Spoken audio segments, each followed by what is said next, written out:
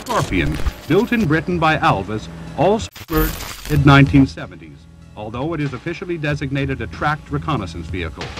Scorpion is the first of a whole family of vehicles employing the same engine.